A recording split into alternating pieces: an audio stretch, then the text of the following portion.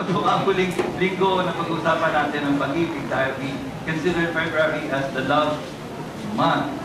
So marami na tayo nasabi tungkol sa pag-ibig. Love is a decision, it's a commitment, it is a choice. Okay? Love is not blind.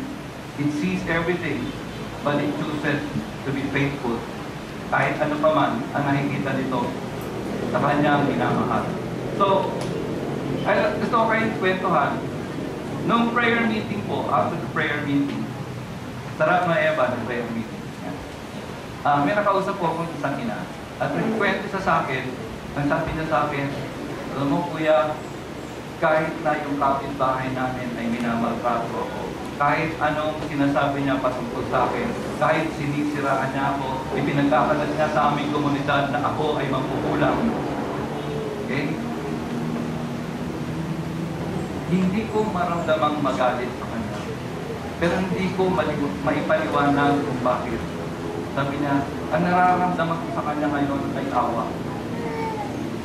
Kahit na ipinagkakalat niya doon sa buong komunidad namin ang mga bagay na hindi ko naman ginawa at kathang-isip lang niya. Ang sabi niya sa akin, ewan ko kuya, bakit kaya? Pagkatapos, ang sabi ko sa kanya, alam mo, yan ay nang dahil sa pag-ibig. Na kahit anong sabihin sa'yo, kahit anong gawin sa'yo, ang nararamdaman mo ay sana mabago ang taong ito. Sana maramdaman niya yung nararamdaman ko. Sana matuto rin siyang umibig. Kadalasan kasi sa tao, ba, pag ginato ka ng bato, babatuhin mo ng tawali. Ba, gusto mo lagi mas malaki. Kung nasaktan ka, gusto mo mas masakit yung ibabalik mo. Pero hindi ganoon ang tunay na pag-ibig. Ang tunay na pag-ibig is, sabi nga ni Cristo, pag binato ka ng bato, batuhin mo ng tinapay. Lagyan mo pa ng palaman para masarap kainin. Yun ang sinasabi ng Panginoon. Kaya, ang message po natin sa linggong ito, sa araw na ito, ay pinangmagatang ko dahil sa pag-ibig. Siguro, yung mga kaedad ko rito, maalala nyo, may awiting ganyan ang title. Alam nyo kung sino kumanta? Anthony pag-ibig. Medyo nahihirapan ako sa paggawa ng mensahe ito. Kasi Monday pa lang iniisip ko na mga nilipit ko ngayong araw na ito. So, gumagawa ako, gumagawa ako. Until last Friday night, the Lord really struck me with this verse. And I know you're all familiar. Familiar kayo sa talatang ito. It's John 3.16. Lahat kayo, kabisado nito. Kahit nakapikit, kahit nakatuwad, kaya yung sabihin ito. At halos lahat ng tao sila man ay nananampalataya o ibig sa Panginoon. Alam nila ito. Sabay-sabay nating basahin. One, two, three. God's love the world, and gave his Son to live with us. Whoever believes in him shall not perish, but have eternal life. Yan. Noong mga nakalipas kong taon, ang Lupom ay laging namumuna pagdating sa mga activities and seminars about praise and worship and doing things creatively. So, siguro mga late 90s, meron po kami tinatawag na Soja. Ito po ay parang ah, conference kung saan nagtuturo kami ng mga bagay-bagay na pwedeng matutunan ng mga church people upang maging excellent sila sa kanilang ginagawa. So most of the time, I am leading worship. On the second year, I was leading worship. Because when I lead worship, I always ask the Lord for a word. Lord, anong gusto mo sabihin sa mga tao? Yun ang sasabihin ko. Okay? Ayoko mag-invento. So, when I led worship, wala akong marinig. Wala akong marinig. Sabi ko, Lord, bingin na ba ako? Hindi mo na ba ako mahal? Lord, nag-lead na ako ng worship, wala akong marinig. But I still led worship because that's my responsibility. At night, nag-lead ulit ako ng worship. Wala pa rin klarong salita. Una umagahan, nag-lead ulit ako ng worship. Wala pa rin klarong salita. So three days ako. On the third day, nung umaga, and which is the last day that I'm going to lead worship, habang naliligo ako, kinausap ko si Lord, Lord, hindi mo ba ako talaga bibigyan ng word? And He gave me this verse. For God so loved the world that He gave His only begotten Son, that whoever believe in Him shall not perish, but have eternal life. Sabi ko, Lord, alam ko na yan. Alam ko na yan, ano ang gusto mong sabihin? At habang inuulit-ulit ko siya, for God so loved the world that He gave His only begotten. Habang inuulit-ulit ko siya sa aking isipan at puso, naisulat ang ganitong kataga sa aking puso. For I so loved the world that I would give what is precious to me to see sinners become worshipers. At yan po ang naging vision ko sa buhay. For I so loved the world that I would give what is precious to me, that I would see sinners become worshipers. At sa ganun konsepto, sa ganyang vision, ganyan po iniibig ng ating Panginoon. Kaya, yung iba sa inyo, huwag kayong magtaan kahit paano napapagkasya yung oras namin mag-asawa sa lahat-lahat ng bagay na ginagawa namin. Nagtatrabaho kami, nagpapastor kami, ah, marami kaming kinakausap. Ang Panginoon na lang po siguro yung nag schedule ng lahat ng ito. Nakakapahinga pa kami, nakakapag-shopping pa kami, you know, kung saan-saan pa kami nakakapunta. Alam nyo, mahalaga na meron tayong vision pagdating sa pag-ibig. At yan ang vision ko. And I pray after this message is done, magkakaroon din kayo ng message sa puso nyo. Ganito ko iibigin ang aking Panginoon. Pero gusto kong baybayin ang mga talatang ito. For God so loved the world that He gave His only Son. Did you know that giving something precious makes one makes the one receiving special? Alam niyo ba yun? Pag nagbigay ka ng isang mahalagang bagay, ipinaparamdam mo sa isang tao na pinagbigyan mo na siya ay special. Last Christmas, I was I went out shopping with some kids. And sabi ko sa kanila, you just buy what you want. Just buy what you want. So isa sa kanila, tumangkot siya ng sinturon. Honestly, akala ko mga 600 lang siya. But it turned out to be 999. Kaya pala, nung dinampot yung sinturon, Kuya, talagang bibilin mo to? Woo! Akala ko 699 lang. It turned out to be 999. But I believe si Lord na gumawa noon. Basta sinabi ko, bilhin mo yan, bilhin mo yan. And you know, that that person, I believe that person really felt special. Una, alam niya yung halaga ng binili para sa kanya. Some people would just give siguro sandaan. Tayo kasi pag namili kadalasan, kadalasan di ba, kung ano yung pinakamura yung binibili natin. Tama? Oh, ako lang ba yun? Hindi, totoo. Lalo na pag ipamimigay lang natin, di ba, pag regalo, marami tayong pagbibigay. Yung pinakamura, yung 3 for 100, gano'n. Pero alam nyo, pag nagbibigay kayo, kahit hindi nyo mabigyan lahat, yung mga taong special sa inyo, bigyan nyo rin ng special. Because when you give something precious, they feel so special. They feel loved. They feel wanted. They feel that they belong. And ganyan pong ginawa sa atin ng ating Panginoon.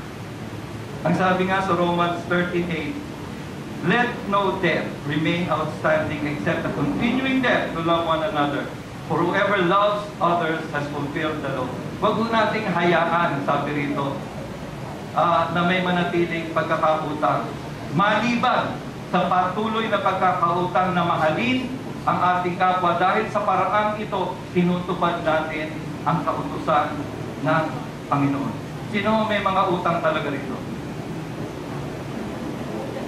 Let me pray for you. Lord God, ayaw mong may utang ng mga anak mo. Ipakita mo sa kanila ang wisdom mo upang lahat na ito ay mabura. Kung kaya mong burahin ang kasalanan namin, kaya mong burahin ang pagkakautang namin sa pananalapi sa pangalan ni Jesus. Amen. Amen.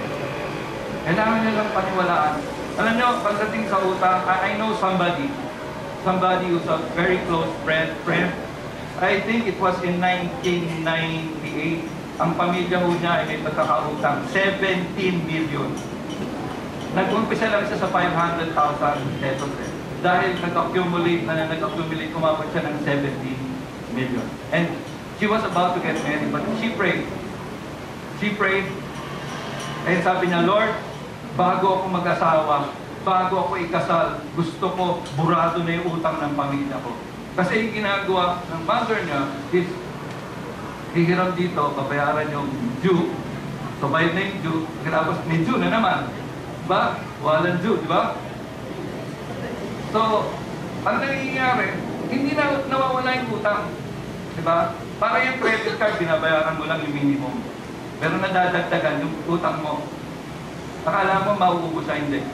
Na, na, na, na, na, na, nagawa ko na rin yan.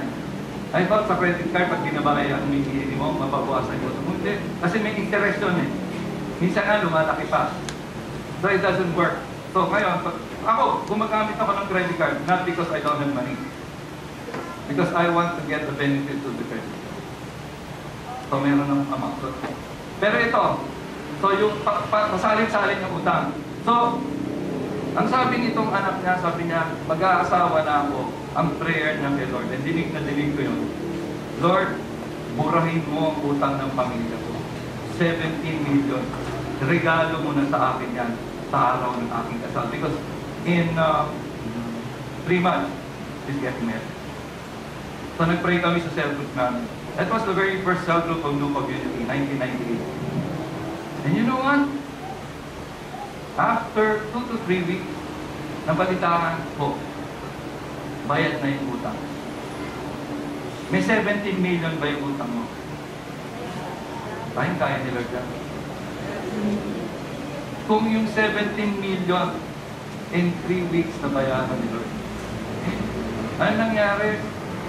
Yung mga magkakamag-anak, they pull their resources together.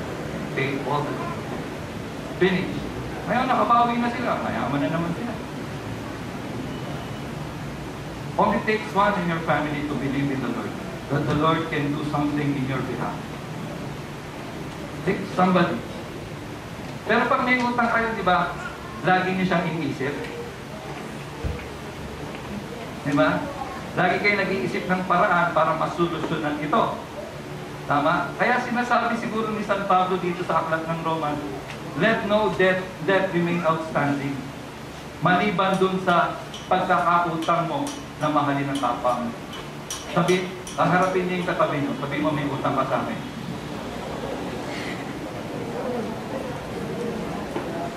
Bayaran mo na. Ngayon, yung utang laging iniisip. Gusto mong gusto mong suklian ito eh. Gusto mong burahin. Gusto mong gawa ng paraan para bayaran siya. Yung lahat ng pagkakautang natin ay nagbayad na. So, this man who paid everything that we owe is just asking us, kung meron mang pagkakautang na salapi, bayaran na yan lahat. Pero let there be one debt remain. Continuing debt. Patuloy na pagkakautang na yan ay mahalin mo ang iyong kapwa. Hindi sa obligasyon, pagkakautang siya. At ang utang, binabayaran, hindi diniderma. So araw-araw isipin nyo, may pagkakautang ako sa mister ko, may pagkakautang ako sa magulang ko, may pagkakautang ako sa anak ko, kailangan ko itong bayaran. Pag ganun ka mag-isip, alam mo, gagawa ka ng paraan upang ipakita ang pagmamahal. Kahit nga siguro si Lord, sabi niya, kung akong nagsasabi nito, kailangan ako unang gumawa. Binayaran niya yung pagkakautang natin. For God so loved the world that He gave His son, ay di na pala, that He gave His own begotten Son. Okay? His begotten Son is so precious to Him. Sino may mga anak dito? I'm sure, I'm sure you love your children. Lalo na yung panganay niyo. Di ba? Ako dapat tatlo kami. Nakunan yung una, ako, nakunan ng litrato. Once yung, yung huli, nakunan huli. Ako lang yung nakunan ng litrato. Yung iba, nasa langit na. Eh, lalo na yung sumunod sa akin. Sumunod sa akin. Kung sumunod, kung nabuhay yung kapatid ko, siguro kasing tanda ni Ate Joan. Ano kaya itsura niya kung nabuhay yung kapatid kong babae? Imagine niyo. Eh, bigote. so, sa paano paraan natin may papakita ang ating pagmamahal? God showed His love through Jesus Christ. Jesus is the expression of God's love. He's also the expression of God's righteousness. I would like to get five things from Gary Chapman how you can pay your debt to love another person. Okay? So sabi ko, when you give something precious, it makes the, the recipient so special. So there are five things. Some of you know this already, pero hindi pa nakakaalam, gawin nyo ito. This is from Gary Chapman. How do we give love away? First, by words. By words. Si Ate Joanne, no, she understands love when you speak to her.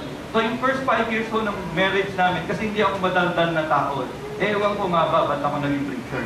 Pero hindi ako madaldal na tao. Sinasabi ko na sa inyo, I've been a singer for a long time. That's my profession. But ang sabi ko sa aking boss, pakantahin mo na lang ako all night long. Huwag mo na akong pagsaltahin. Dahil takot ako magkamali. Pero kahit ano kaya nang gawin ng Panginoon. Kaya niyang baguhin lahat. So, in the first five years ng marriage namin, we got married in 1999, so the first five years was full of adjustment. Yung hindi pa nag-aasawa sa inyo, it's just like the Mozo Bamboo Tree, first five years. It's really adjustment. Sometimes it's the hardest. First five years, I have to learn to speak, magkwento. But right now, it's it's automatic na sa akin. When I see her, I tell her I love her. When we wake up, I tell her I love her. When she rides in the car, I ask her, how do you feel? Because that's the way she understands love. And when I talk to her, she understands how much I love her.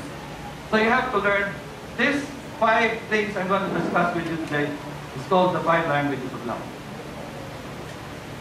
Okay? First is words. Words of affirmation. Yung katulad ng ginawa natin kina Joey. Pero kailangan alamin mo kung paano nila maintindihan. Kasi kahit, kahit sa pamilya, makakarinig kayo, siguro napanood nyo sa sine, ang mga anak minsan naghahanap sa kanilang mga magulang dahil nagtatrabaho ang kanilang magulang, wala silang time sa bahay, hindi sila lagi nakakalabas, hindi sila nakakapasa, they couldn't spend time with their children. But they have everything. They, they go to an exclusive school, malalaki ang baon nila, okay? Pero, sabi, ang sinasabi nila, hindi ako mahal ng magulang ko. Kasi hindi nila maunawaan. Uh, one time I was asked a favor by a pastor. He asked, Deo, can you bring home my child? Because I'm going to a ministry. So, inuwi ko yung bata. Nandun sa likod ng konti. I think at that time, he- she was only four or five. And then while driving, nagmamaneho na kami papunta sa bahay nila. He suddenly blurted out. Sabi niya, How are you related to my mom and dad? Sinagot sila ng ate niyo, We're friends. Nasasabi niya, How come my dad and mom are never home? Hindi namin masagot. Hindi namin masagot. Hindi namin explain kasi pastor sila and everything. But you know, that kid only wanted something. Time. I'll discuss it with you later. But for now, words is important. Can you tell the person beside you, mali bang sabihin niyo sa katabi niyo, mahal kita. O sige, tabihan mo na yung gusto mo sabihan na mahal kita. Okay? So, you have to practice it. eh. There's something called as uh, muscle memorization. Mahal kita, mahal kita, mahal kita. Kailangan ma-memorize po yan ng ating isip puso, pati ng muscles natin, mahal kita. Kung mo ngayon ang misis mo, sabihin mo, mahal kita. Mula noon hanggang ngayon, mahal pa rin kita. Anong pakiramdam? Sige na, Gilbert. Huwag mo nang tanawin kung mo na yung misis mo. Sige na. Pinapahintulutan kita. Oo. oo. Ayun. Palakpakan naman natin. Patugtugan niya ng endless love. Ayan. Sinabi mo ba mahal kita?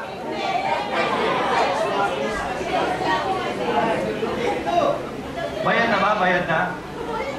Bayad na yung utang yung telepono?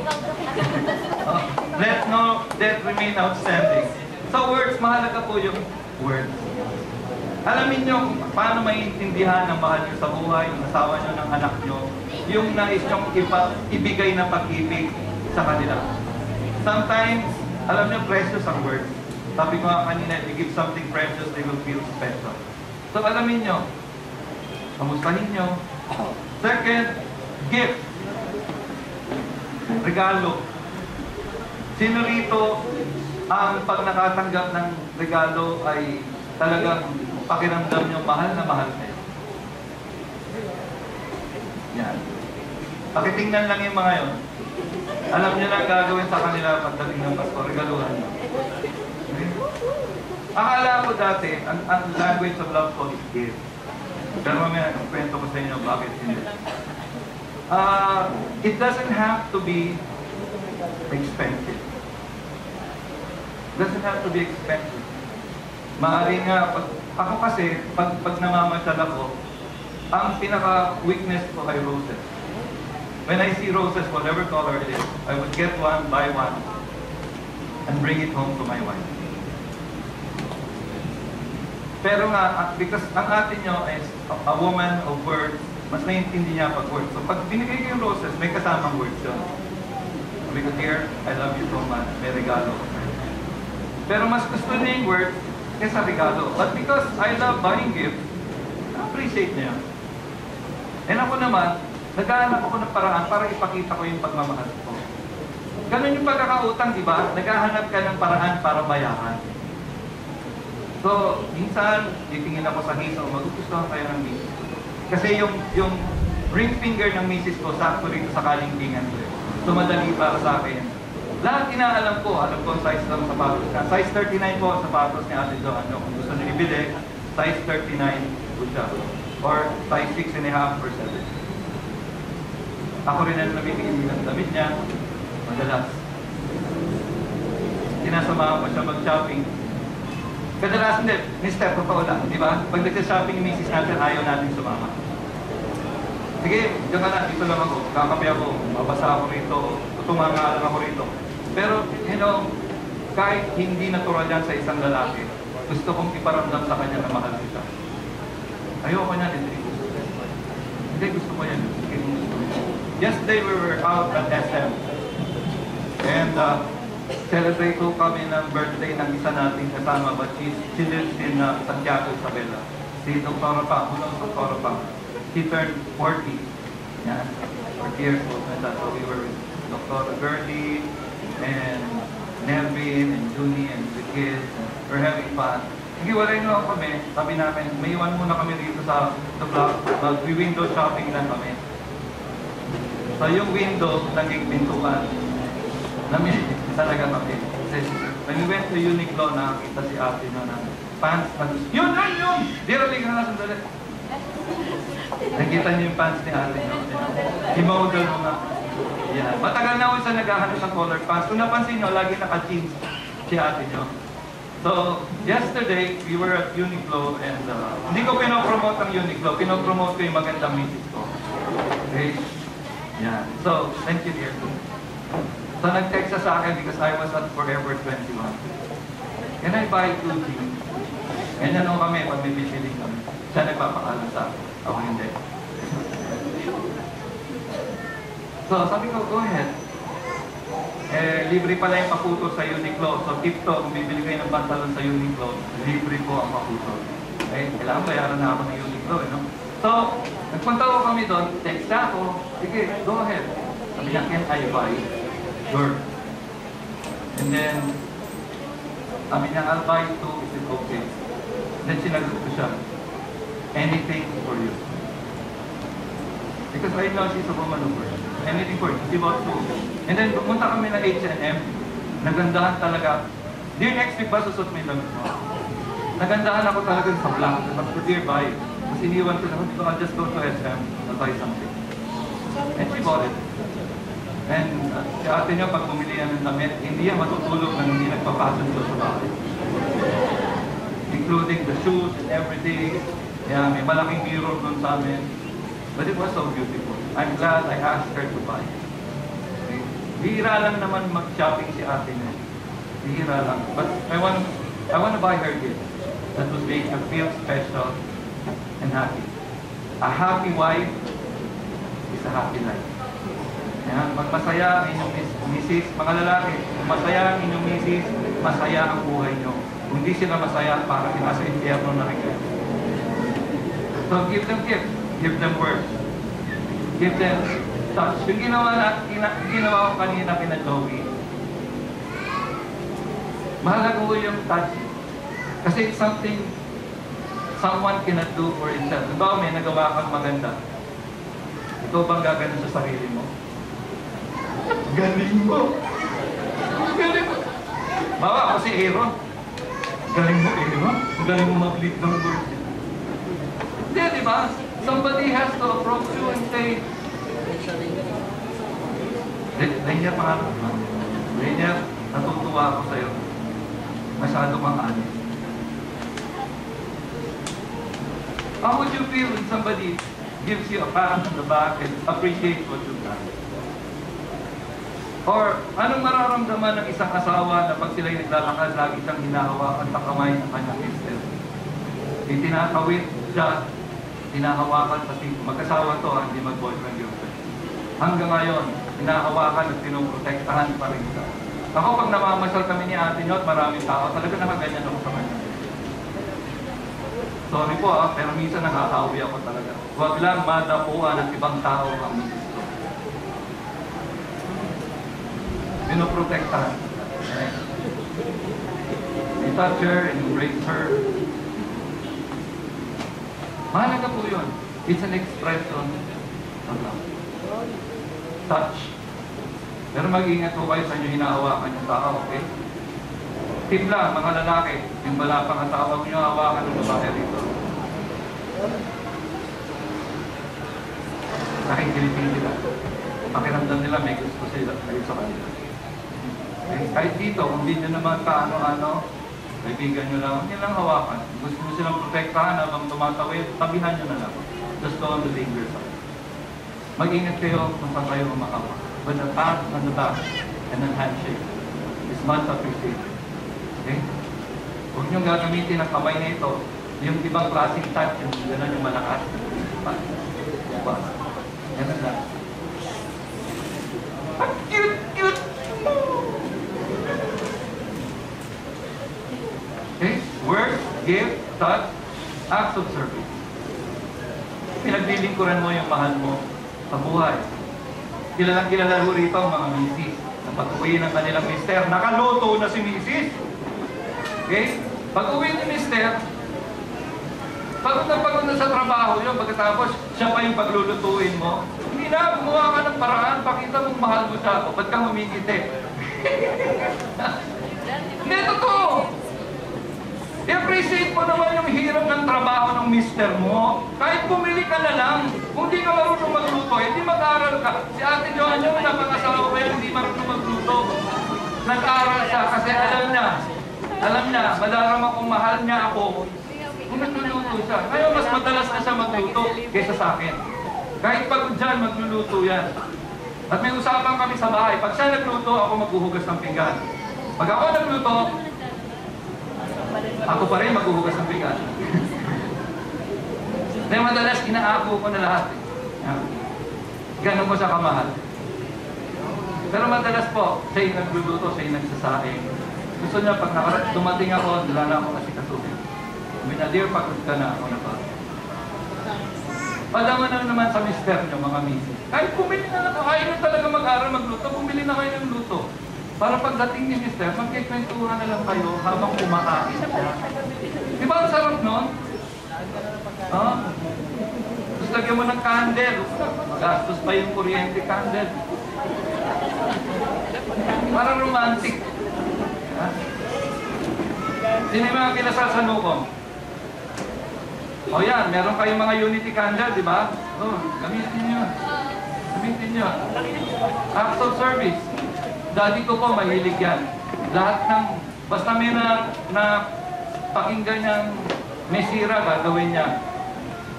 Yun nga ang kapitbahay namin kasi lumipat na sila dati doon sa compound namin. Nakita niya, itatapon na yung post ng tubig. Kinuha niya, pinayusin ko. Hanggang ngayon, di pa niya naayos. Hindi, sira na talaga eh. Wala nang magagawa. Pero, anyway, yung dati ko basta may pwede siyang maglingkod, maglilingkod. Kasi nakikita ko siya hanggang ngayon eh. Si Luis, kinukuha niya ng, ng baso ng grape juice sa kanya.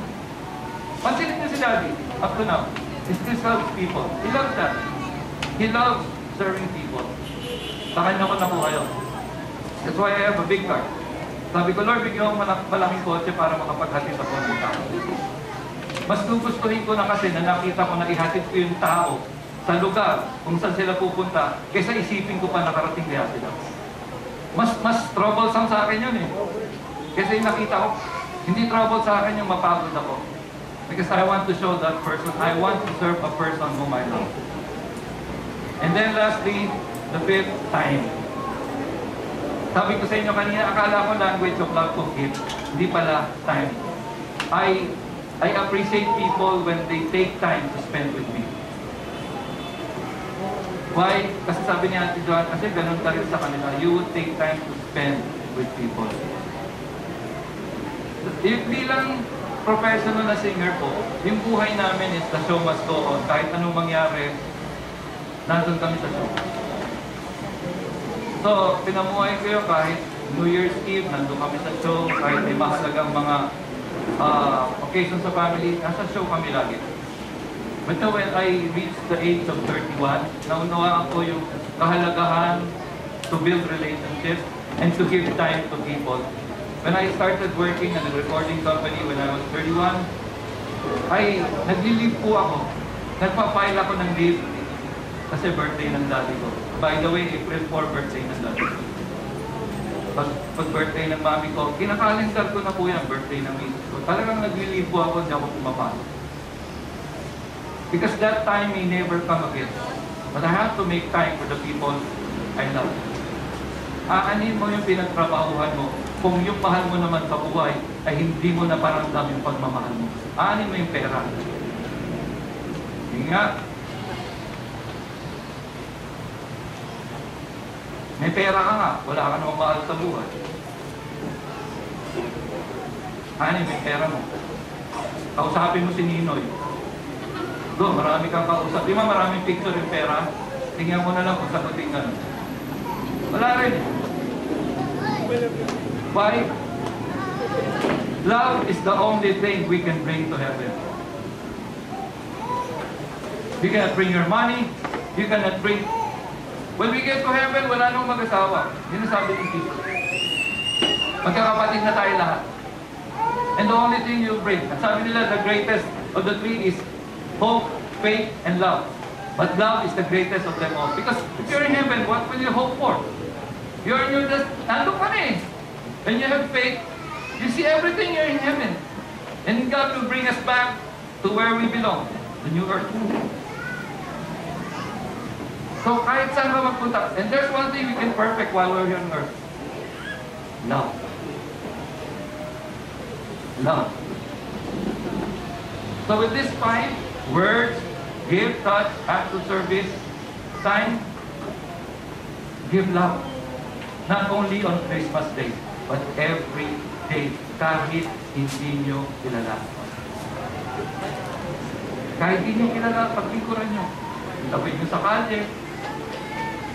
I know somebody here, she's a kid. She's a kid. She's just, I think she's just 15 years old. May nakasabay siya sa jeep. Isang matanda. Alam nung matanda, yung kanyang rides, meron siyang discount pag sumakay siya ng jeepney. So binigyan niya ng 580 yung driver. Alam nung ginawa ng driver ng jeepney? Ibinato yung pera niya. Bumaba ka na. So yung bata, nakita niya yung nangyari. Ano yung ginawa ng bata? Bumunod siya sa bulsa niya ng piso. Binigay niya sa matanda. So nagbayad yung matanda buo 6 pesos. Hindi niya kaano-ano yun. She just wants to extend the love of God. And she's only 15. Huwag mo nating panghinayangan yung piso, limang piso, sampung piso. Kung yun naman ay magiging paraan But when we give it, somebody will feel special. And that somebody will feel the love of God. Piso lang yun. Pero siya lang ang naglakas loob na magpakita ng concern sa isang taong hindi pinahalagahan ng driver na sumakay sa kanyang jeepney. Giving is love in action. Giving is love in action. That's why the Bible says it is more blessed to give. It is more blessed to give. So for God so loved the world that He gave. So kung meron ho tayong gagayahin sa Panginoon in loving, and that is to give. To give what is precious to us. Tulad nga na sabi ni Aaron kanina, Romans 5.8, But God demonstrates His love for us in this, while we were still sinners, Christ died for us. Yun lang, isipin nyo lang yun. Huwag nyo isipin na karapat dapat ba siya sa pagmamahal ko. No, God, God did not think that way. When we were sinners, God died for us. Nung tayo makasalanan, namatay siya sa atin, wala siyang kondisyon. He made a decision. Kahit ganyan ka, magpapakam, I, I will give my life for you. Ganun din, sana, ang iniisip natin, kahit ganyan ka, mamahalin kita. Malay mo yung pagmamahal mo sa makakapagbago kanila. Tulad ng kwento ko kanina, yung ina kasi yun, na inaalipos tayo ng kapitbahay niya, hindi mo pumapayag na inaalipos tayo. Bubungangaan din niya. At malapang, uumbagin pa niya. Pero nagtataka siya, bakit hindi niya ginagawa yun? At nananahimik na lang siya. You know why? Because we felt the love of God. And we can make each other feel the love of God in this family. That's why we call this place, we call ourselves family. The church is a family. Now, if somebody gives us something, God gave us something, God gave us Jesus so precious. Ano yung response natin doon? For God so loved the world that He gave His only begotten Son, that whosoever, kahit sino, believes in Him. Sabi niyo, believe. Sa pag-ibig po ng Panginoon, isa lang ang response ng buong sanlibutan. Believe. Believe in His love. Believe in the expression of His love, who is in Christ Jesus. Whoever believes in Him Naniniwala ka bang bayad na yung utang mo? O wala nang hindi pwedeng bayaran ng Panginoon dahil mahal ka niya. Mga magulang, gusto mo ba yung anak mo may magkakautang at inaalipustasa dahil sa utang niya? Inaalip. Pag may utang mo kasi tayo, alipin tayo ng pinagkakautangan natin. Parang hawak tayo sa tenga. O dito ka, dito ka, punta ka rito. Ka. O dadagdagan ko ng interest yung utang mo. Wala kang magawa. Ayaw ni Lord nun. Kaya nga pinadala niya si Jesus. Sa whosoever believes in what He has done, binayaran lahat ng utang, kaya hindi tayo pwedeng pingut-pingutin ng demonyo. Hindi tayo pwedeng hilahilahin ng demonyo. Hindi tayo pwedeng tukso-tuksohin ng demonyo. Binigyan tayo ng karapatan, ng kapangyarihan para tindigan ito. Naniniwala nga ako eh. The very power that God exerted for Jesus to rise from the dead is love. Hindi ako hindi ako makakapayag na mananatiling patayan ako. Bubuhayin ko siya. At ganun din sa inyo. Hindi papayag ang ating Ama sa Langit na manatili kayong patay. Bubuhayin niya kayo sa pamamagitan ng kanyang pag-ibig.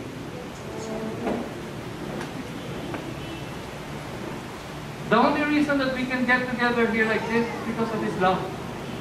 Kung paiiralan natin yung kanya-kanya natin, which is, tatao ganun talaga. Hindi tayo magkasama-sama rito. Hindi kayo magtsatsagang pumunta rito pag linggo at makinig kay Kuya Leo. Ba't kayo nandito? Kasi hinahanap niyo yung pag-ibig ng Panginoon at tumutubo at lumalago, lumalalim at tumatayog ang pag-ibig ng Panginoon sa inyo. Bakit kayo sumusubo sa Panginoon? Kasi naramdaman niyo yung pag-ibig ng Panginoon. Kahit yung pananampalataya at pagtitiwala at paniniwala sa pag-ibig ng Panginoon, sa pa rin na naglalagay. But we have to respond. Yes, Lord. But for those who respond, whoever believes in Him shall not perish, but have eternal life. Sino man ang naniwala sa pag-ibig ng Panginoon, sa pagbibigay ng Panginoon, sino man ang naniwala kay Heso Kristo, shall not perish. That means you exist. Sabi niyo, exist. Hindi ka mawawala. You will not perish, but you will exist. In Acts 17:28, it said, For in Him, in Jesus Christ, we live and move and have our being. Sa pamamagitan ni Heso Kristo, nagkakaroon tayo ng pagkatao. We exist because of Him. Without Him, we perish. That's why He has to come back again. We perished once because of the sin of Adam and Eve. At patuloy na lumala. Siguro ito na yung pinaka-example na pinakamalapit na napakatalamak na talaga ng ating bansa. Pero may pag-asa yan. Okay?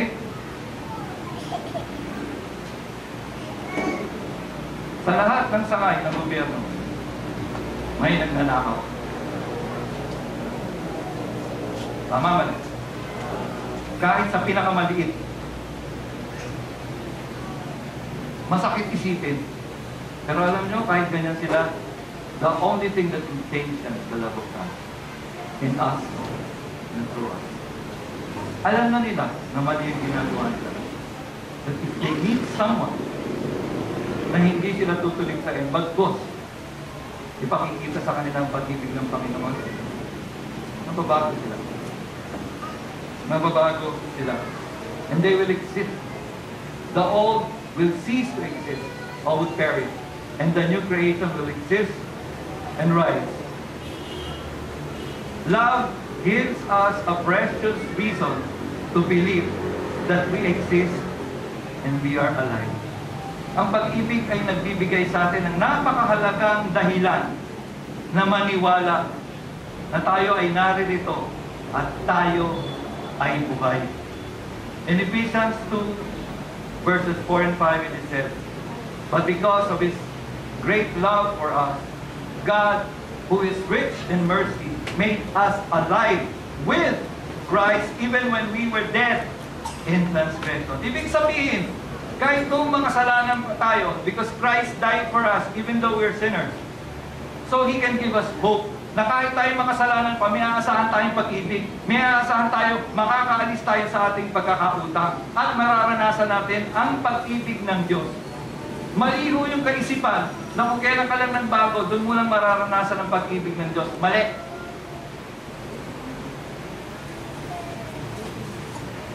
Kahit ikaw o kahit sino na makasalanan, ang pag-ibig ng Diyos ay para sa Kanya.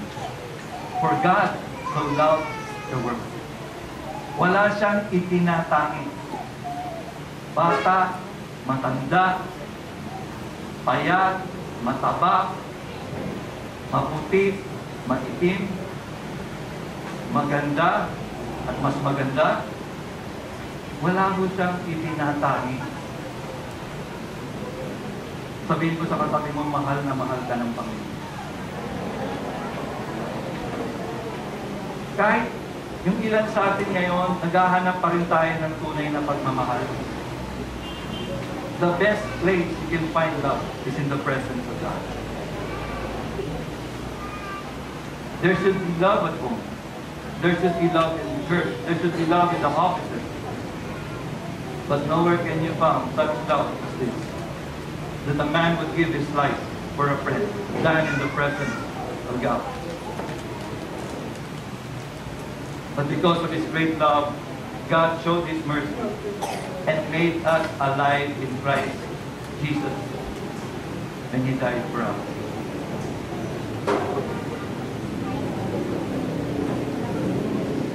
Love always protects. Love always trusts. Love always hopes.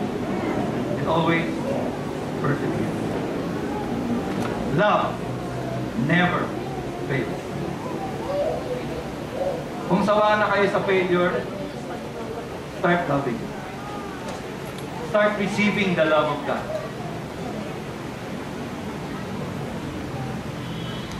Lahat tayo gustong magmahal. Pero maliban na lamang na natanggap at naranasan natin ang tunay na pag-ibig. At tayo ay mag-umapaw dito. Yun lang ang panahon na makakapagmahal tayo ng totoo. Kaya minsan, o madalas sabihin na natin, tayo naghahanap pa rin, parang kulang. Aminin natin. Tayo may mga asawa, tayo may mga ulam, mga anak. Minsan ang magulang naghahanap ng pag-ibig sa anak, ang anak naghahanap ng pag-ibig sa magulang, ang mag-asawa naghahanap ng pag-ibig sa isa't isa. Ano yan yung kulang doon? Hindi siya umaapaw. Iniibig mo lang siya ayon doon sa alam mo. Trabaho ako, umaharap ako, rent ako ng apartment, may kakanin araw-araw. Responsibilidad mo yun. Love be, goes beyond those things.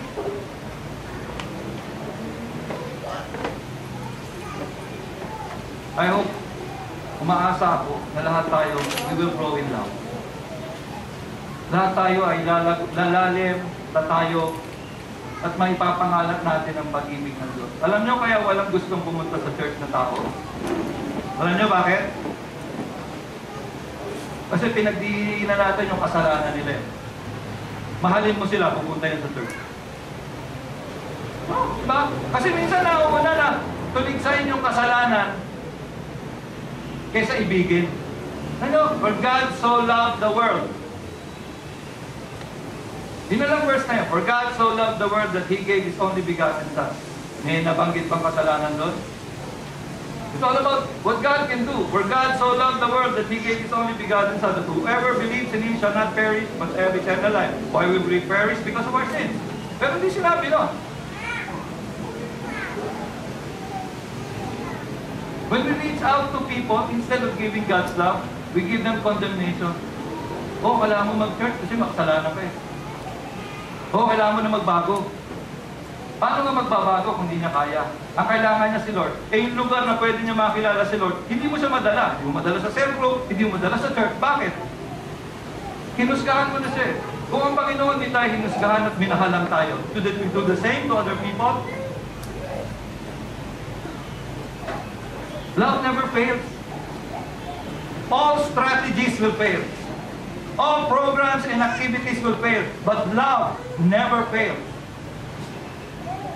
That's why even in the beginning, when we started congregating, new community in the north, I said, when we were still in Dream Center, I said, kung meron man akong gustong marinig sa mga taong dumadalo, at tinanong sila, bakit ka nandyan?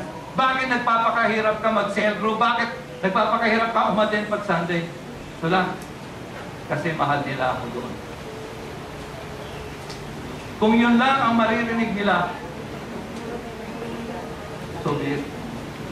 Nagawa natin yung pinapagawa ng Panginoon tayo. At mula doon, magbubunga pa yan ng maraming bagay. We have not loved each other. The first thing we should work out in this family is to really love each other. Walang utang sa iyo yung kapwa mo. Ikaw may utang sa kanya.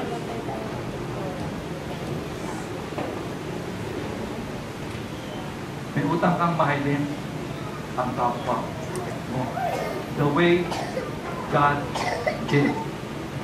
At bago bumalik si Jesus sa kanyang kaharian sa langit, ito ang sabi niya sa kanyang mga disciple. A new command I give you. Binibigyan kayo ng bagong kautusan. Love one another as I have loved you.